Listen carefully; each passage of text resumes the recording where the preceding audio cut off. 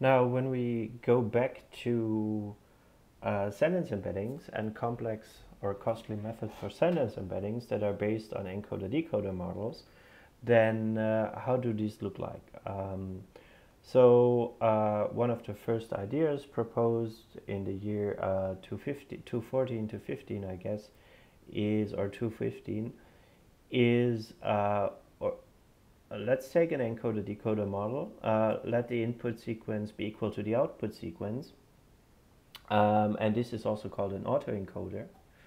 Um, and then take the final vector on the input side to be the sentence representation. And uh, well, in pictures, it just looks very similar to what we've seen previously. Um, um, you put in uh, a sentence on the input side, you, you feed it through your RNN, uh, you get a hidden representation, and then from this hidden representation, you should be able to decode the sentence. Um, yeah, so this is the idea. They call this sequential denoising autoencoder. Uh, and it's also clear the better this representation here, uh, the better you will be able to restore the sentence from the from the input.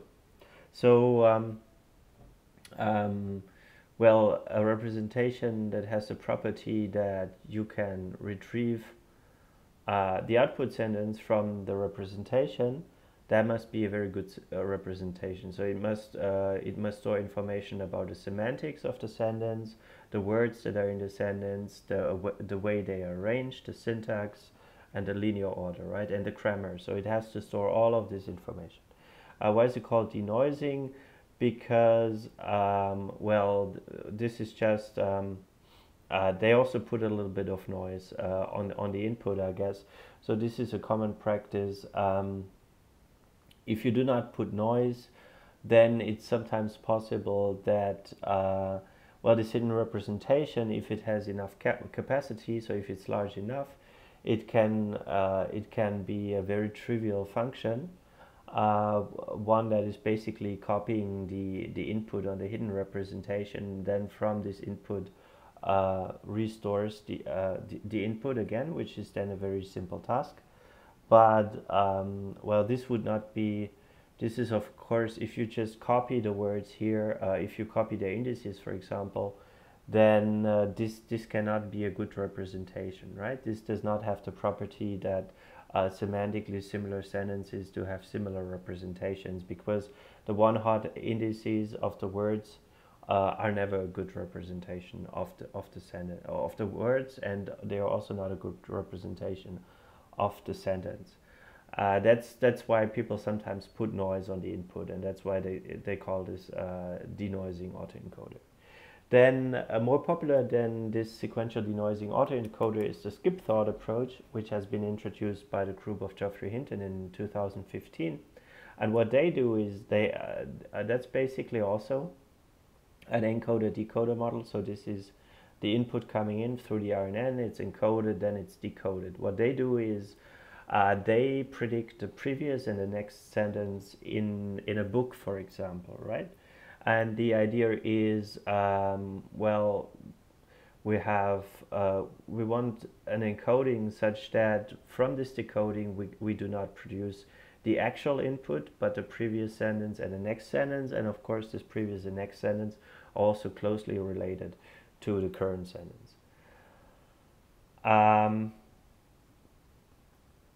and uh, yeah, and what is the, the difference to our naive idea number one, where we also had, where we wanted to predict the previous and next sentence? Well, the, the main difference here is the input is running through an RNN and the output is also running through an RNN, whereas the idea, uh, the naive idea number one was just to concatenate all the words and then run, run it through an MLP basically, right? So this is the, uh, this is the difference. And of course, this, this approach can be, um, can be combined with the previous one, right? So the previous was given the input, predict the input again. And here's given the input, predict the next, to, the, the previous and the next sentence and uh, we could, of course, combine these two for hopefully better performance, namely to predict the previous sentence, the current sen the, the sentence itself, and the next sentence. Yeah, so this is skip thought. Now, if we compare skip thought and sequential denoising autoencoder, then we have to say that skip thought requires text to be in context. So uh, we need to have, like, for example, a novel where the preceding and the following sentences are coherent. If you take just a random sentence to be predicted, uh, if, if you shuffle, if you take a coherent document and you shuffle all the sentences, then the previous and next sentences are not related to the current sentence in the middle, and therefore, um, and therefore the, the representation that uh, result would probably not be very meaningful. Um, so skip thought really requires coherent text and sequ the sequential denoising autoencoder does not require that. So it could be easier, could be easier uh, to apply. So in a, in a Twitter corpus where you only have like one or two coherent sentences uh, and the next one are from the next tweet, um, this could be easier applied, for example, than the skip thought approach, and therefore it can use of can make use of more data. Another very popular sentence uh, model is the InferSent model. So this is a supervised model. So the previous two models were unsupervised or self-supervised. So what is uh, what is unsupervised, self-supervised? Well, they have no labels. They just uh, they just take uh, unlabeled corpus and then they make labels themselves, right? This is also called uh, self-labeling or self-supervision. But basically that doesn't have to be any human labels. Uh, in contrast to that, InferSent does use supervision, so it trains on a high quality data set, namely the Stanford Natural Language Inference data set, also called SNLI, uh, abbreviated as SNLI. And uh, how does the training data look like? Um, well, it's like you have to do logical, uh, logical um, uh, inferences. So you have what they call in logic a premise, which would be a, a girl in a red coat, blue hat, blue hat wrap, and jeans is making a snow angel. And you have a hypothesis, a girl outside in the snow.